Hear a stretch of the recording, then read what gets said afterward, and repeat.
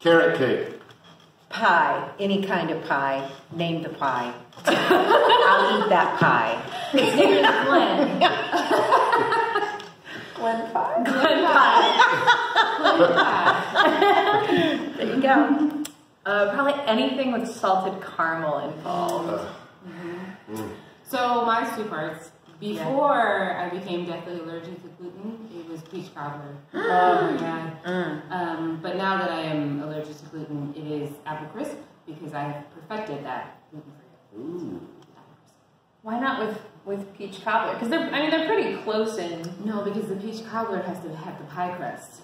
See, because I used to Oh. do layer of crust, the peaches, another layer of the crust, peaches, and Oh, then the lettuce on top. And pe- pe- uh, pie crust is, is very hard to do gluten free. It is a very time consuming process. I tried to bake once with almond flour, and that was a disaster. Yes. Almond almond flour is one of the hardest, hardest gluten free Such a processes. disaster. Yeah, there you go.